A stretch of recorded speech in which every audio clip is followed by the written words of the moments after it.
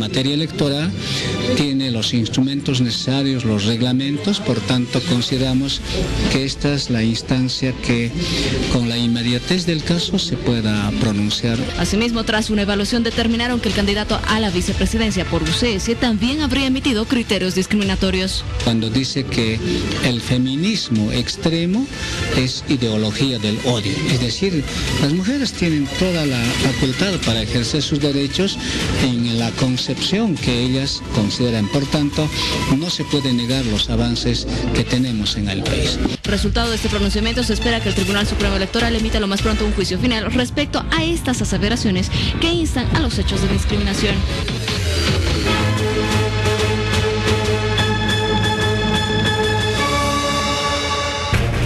Atención porque en el trópico de Cochabamba entregan la planta termoeléctrica de Entre Ríos. Es una de las más importantes del país y va a generar